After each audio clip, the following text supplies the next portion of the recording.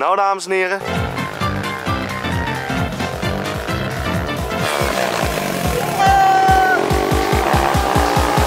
Een meisje op een kwad, dames en heren.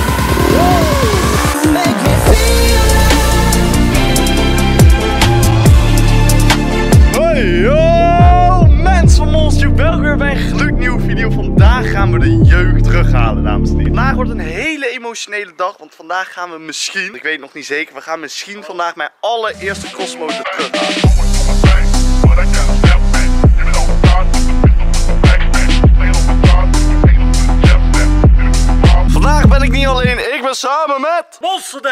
Eerlijk is eerlijk. Jij weet wat voor chaos ik had gemaakt met die eerste crossmotor. Zeg maar toen ik de crossmotor ging halen, ik had een 250cc Hurricane crossmotor achter. En dat was een pitbike crossmotor, maar het was wel groter als een pitbike. Daarom vond ik hem leuk. En deze zijn ook groter als een pitbike. Maar jongens, dat ding, ik had met jou de hand geschud. Dat ik, dit is een leuk verhaal. Pap zei, beloof je mij dat je niet verder gaat als de straat. Maar je mag alleen op eigen terrein met zulke dingen zonder kenteken. En heb je dat beloofd? Het zou vooral eng zijn als je een ongeluk ermee zou maken. Want dan kan je je hele leven lang doordokken, zeg Maar maar. dan heb je het toch niet gedaan? Nee, dat heb ik ook niet. Kan deze muil houden? Ja, nou gaan we geen 250cc halen, maar een 150cc. Want 250 wordt niet meer gemaakt voor dat eh, Chinese prutmerk. Jongen, sandalen, echt, dat kan echt niet, Monsterlet. Dat is echt... eh, Ja, maar jij zou ook nog sandalen met sokken aandoen. Dit zit zo fijn, dat wil je niet weten. Oh jongens, ik ben zo opgehuid voor vandaag. Voor we gaan hem kopen, dan ga ik er ook twee halen. Om stel voor een van jullie strijders komt een keer langs van Monster Gang. Oké, daar hebben we altijd twee crossmotors, pitbikes, om gewoon lekker mee te crossen. Ook het leuke is dat precies hetzelfde merk zoals vroeger. Dus ik heb eigenlijk mijn kanaal opgestart met eigenlijk die crossmotor. Ik heb de meeste video's, ja eigenlijk alle video's heb ik moeten verwijderen door die crossmotor. Dat was niet normaal. Ik was 14 en ik reed op een 250cc. Dat is echt eh, waanzin. Dus ik had ook bij het politieverhoor, zeiden ook van, ja, wat voor crossmotor reed je vroeger? Zus, zo zagen die video's. Dus ik heb die zo snel mogelijk verwijderd. Want ja, ik reed door een rood stoplicht. Ik ging de stad in. En, oh. en toen was ik nog 14 op een 250cc.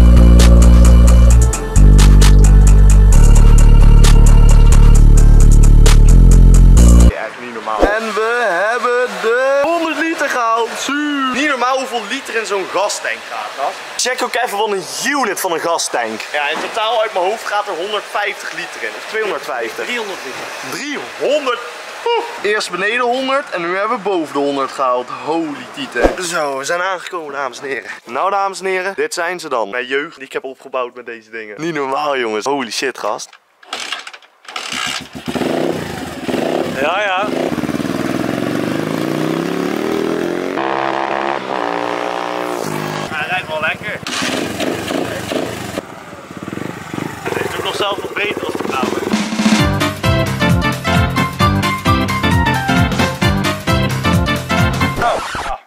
Ermee. Dankjewel. We hebben ze overgekocht, dames en heren. De twee Hurricane Pitbike. En eh, wie kan ze weer eh, oplinen en afbinden? Ons jet, shout-out naar jou, Monsterlet. Shout-out naar jou. Kijk mensen, nu doet eh Monstertube zelf eens een keer iets.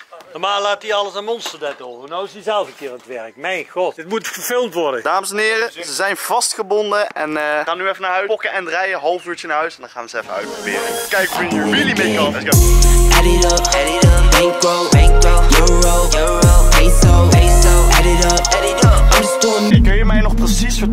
wat jij mij vertelde toen ik 14 was? Ik had precies dezelfde crossmotor gekocht. Hou je muil! Maakt het uit wat ik nu zeg, je bent eh, volwassen. Not on the public road. Dat kan ik wel zeggen nu, je bent volwassen. Dus do whatever you like. Kijk eens dan ook hier, een meisje op een quad, dames en heren. Zo hé, dat eh, mag wel vaker rijden op een quad. you matter what. Add it up, add it up, bankroll, bankroll, euro, euro, peso, peso, add it up. I'm just doing me, Dames en heren, we zijn even gestopt in de stad. Maar echt, wat een plaatje dit hè, eerlijk? Niet verkeerde gleufje hè.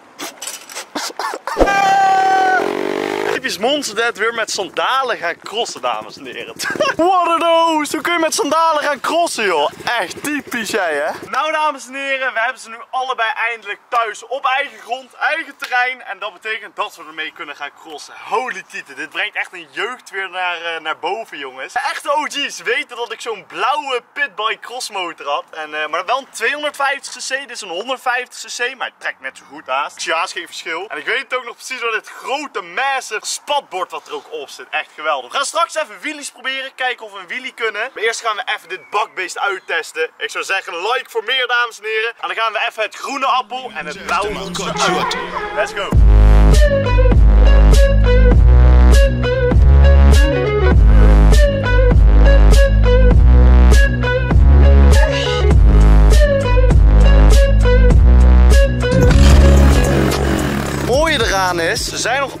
Echt wel best wel gloedje nieuw. Want we kregen een verhaal natuurlijk te horen. Ik weet natuurlijk nooit of het klopt, maar je ziet het wel. Alle onderdelen zien er spliksplinternieuw nog uit. Nergens beschadiging, het frame blinkt nog helemaal, de kappen allemaal nog. En het belangrijkste, meestal op die Chinese prut zie je heel vaak roest snel komen. Nergens geen sprikkeltje roest.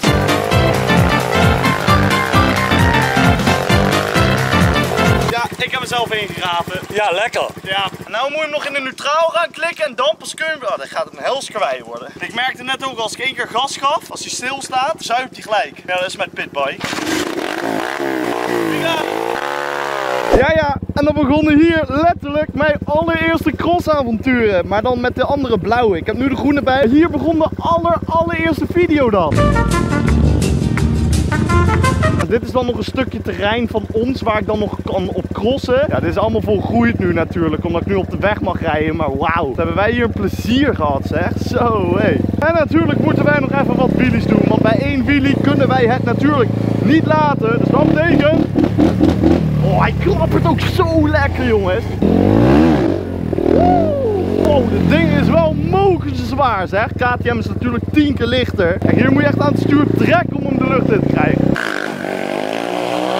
Allemaal leuk en aardig, maar we gaan een remreiniger bij doen. Abonneer zeker om meer van dit soort gekke shit mee te maken. En dan gaan we even remreiniger pakken. Oh. Ik heb toch voor de zekerheid even een brandblusser meegenomen. Want je weet maar nooit, dit kan echt fout aflopen. Oh.